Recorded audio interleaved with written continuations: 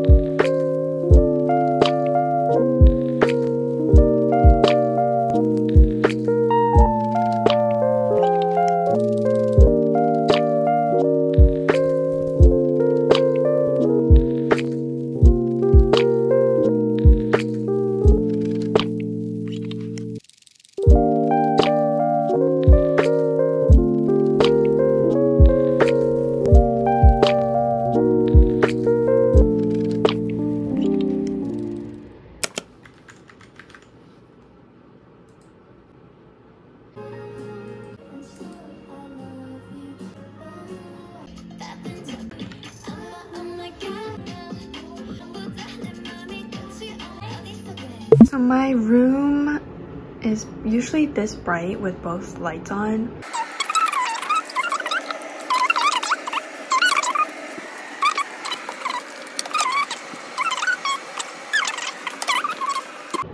Studio Ghibli night.